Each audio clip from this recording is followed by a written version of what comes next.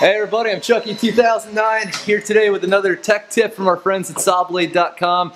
And I've found that when you have a lot of angle iron to cut, even doing it by fairly efficient machines like this shear, it's not really the fastest, most efficient way to go about this. What's even faster and smoother is to stack cut this in a large bandsaw or even kind of small depending on how much of what size angle iron you have to cut. And I'm going to be giving you some tips on how to do that today. So you can see there's not really a whole heck of a lot to this. What I like to do is just stack these things up real nice, make sure everything fits in the vise as it should.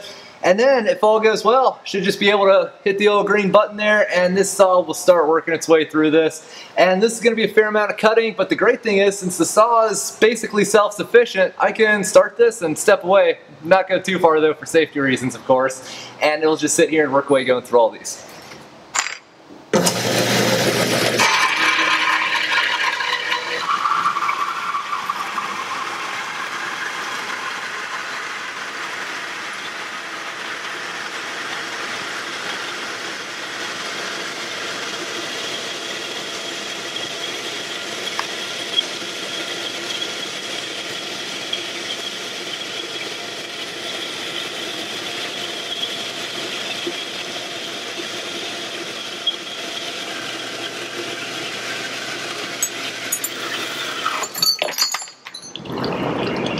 Nice!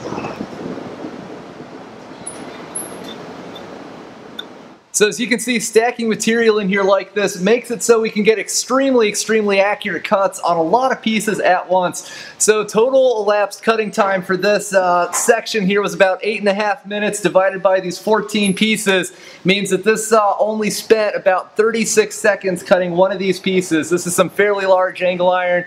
It's uh, fairly thick material and the best part is I didn't even have to be here as it's cutting. I could just let this thing cut under its own force.